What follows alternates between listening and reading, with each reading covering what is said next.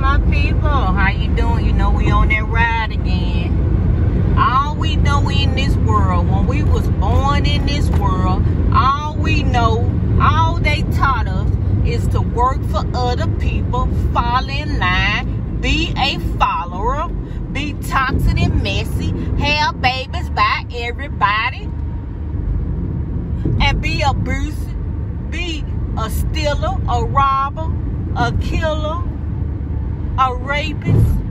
We've been taught all of the evil things to do in this world, all the sinful things in this world. Uh-huh, this is some real talk here.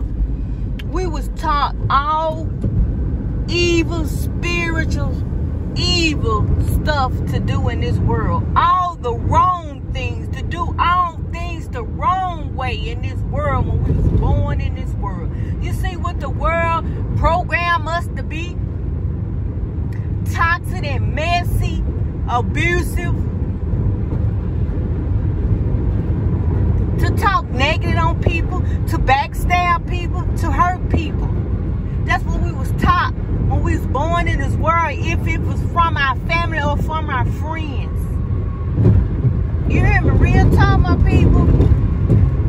We only been taught to do wrongful things. And God is only trying to teach us to do things the right way, the patient way, the correct way. But you're mad at God because he wants you to do it the good way. Instead of punishing the devil and getting away from him.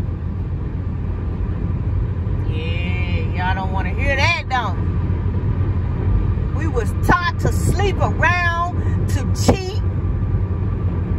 We wasn't taught anything past. It won't be so many cruel, evil people in the world if we was taught the correct way. You hear me? We taught to teach our children to dance and be fast. You hear me?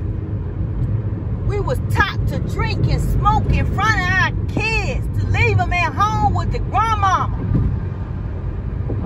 We was taught to do all the fighting and arguing in front of the kids. Like I said, we wasn't taught things the correct way. But God trying to make you open your eyes and your mind so you can do things a better way. His way. Uh-huh. I love y'all.